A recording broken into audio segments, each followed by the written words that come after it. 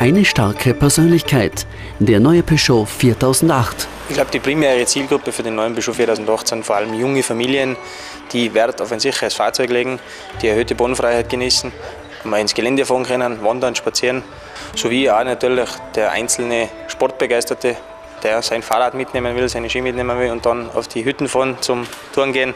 Dieses neue Allradprodukt aus dem Hause Peugeot hat viele Vorteile. Unter anderem beeindruckend die Pferdestärken, gepaart mit sehr sparsamen Motoren. Es gibt zwei Motoren mit 114 PS bzw. mit 150 PS. Äh, die Verbrauchswerte sind für einen SUV sensationell.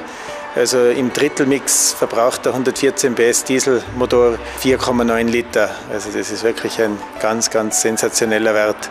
Sehr angenehm beim neuen Peugeot sind auch die erhöhte Bodenfreiheit mit erhöhter Sitzposition.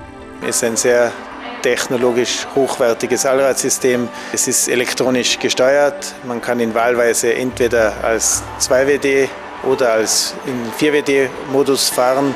Und er hat auch noch eine Lokfunktion für besonders schwierige Verhältnisse. Nicht nur das Panoramaglasdach beweist beim Peugeot 4008 die Kategorie absolut hochwertig. Ein sehr gelungenes, innovatives und auch sehr designschönes Fahrzeug.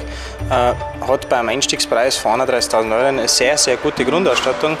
Und auch die Sicherheitsausstattung verdient die Bezeichnung hervorragend.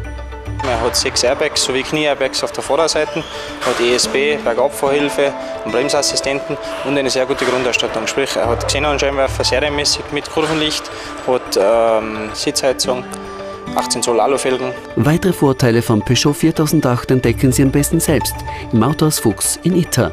Clever rund ums Auto.